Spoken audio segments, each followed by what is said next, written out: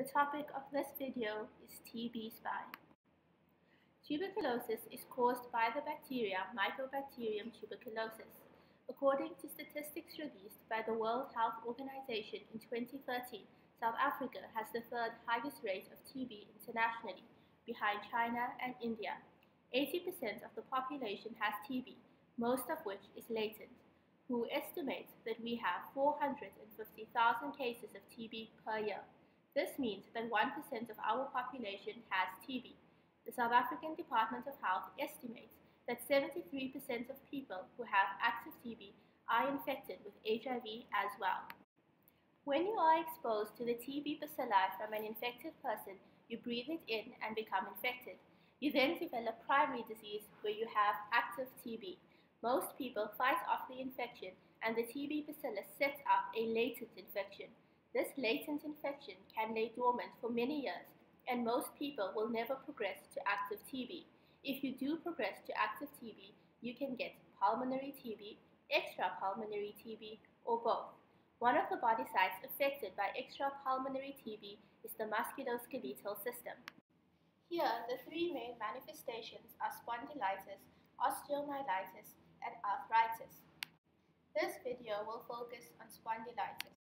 TB most commonly affects the vertebra between T8 and L3. The infection generally starts in the anterior part of the vertebral body in the region of the disc.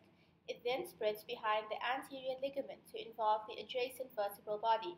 This destruction of the body causes collapse anteriorly. Posterior elements are not involved in TB. You can get an angular deformity of the spine. As only the affected vertebra collapse, the deformity is a short, sharp angle or kyphosis. This angle is called a gibbus. This X-ray depicts erosion of contiguous vertebra accompanied by disc space narrowing. Kyphus formation may also develop. The infection produces pus, which can be paravertebral as demonstrated in this MRI. Alternatively, the pus can collect in the spinal column. Neural involvement can occur acutely or with late onset. Late onset paraplegia is often due to vascular thrombosis and infarction, compression as granulation tissue becomes scar tissue, and mechanical pressure. It is imperative to always look for non-contiguous lesions in the spinal cord as well. A South African study showed that 16% of their patients had non-contiguous lesions. Plain radiography of the entire spine or an MRA sagittal cut is mandatory. The clinical presentation depends on the stage of disease signs and presence of neurological deficiencies, abscesses, or sinus tracts. The patient often has back pain and a spinal deformity. One third cannot walk due to neurological compromise. Patients may also have constitutional symptoms such as night sweats, loss of weight, and fever. The examination of a patient should include attention to the detection of sinuses and gait, evaluation of spinal alignment, and an assessment of spinal motion and hips meticulous neurological exam is mandatory. Investigations are essential in the diagnosis of spinal TB. These include erythrocyte sedimentation rate, which is usually elevated. This can be as high as 73. If it is more than 100, your primary two differential diagnoses are TB and myeloma. A Mantoux, which is positive 90% of the time, Widal and Brucella complement fixation tests. a biopsy should be taken for microscopy, culture, and sensitivity. As there is an increasing differential for spinal TB, Mycobacterium tuberculosis has to be confirmed. With CT-guided biopsies, there is often a poor yield and a long wait for culture. For histology, a larger core is obtained through percutaneous biopsy under general anesthetic. This is often combined with abscess evacuation. Radiographic imaging should be done of the chest and spine. 50% of chest x-rays have signs of active or old TB. MRI radiology should also be done.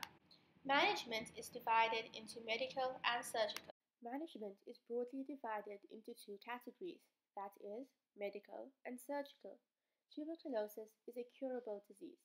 Adherence to treatment can be improved by stressing this to patients.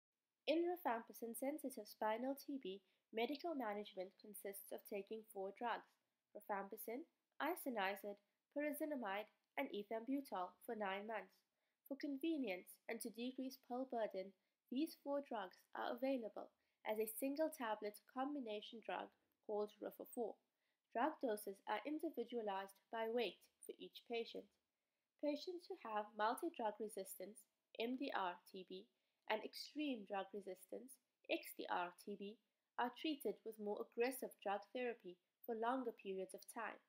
Drug therapy is then tailored to the specific mutations that the TB bacillus has. Patients are watched taking their drugs to improve adherence. This is called the Directly Observed Therapy or DOTS program. No drug is innocuous. The common side effects to watch out for are hepatitis, peripheral neuropathy, and optic neuritis. Rifampicin is also a cytochrome P450 inducer, so dose adjustments of other drugs may be needed.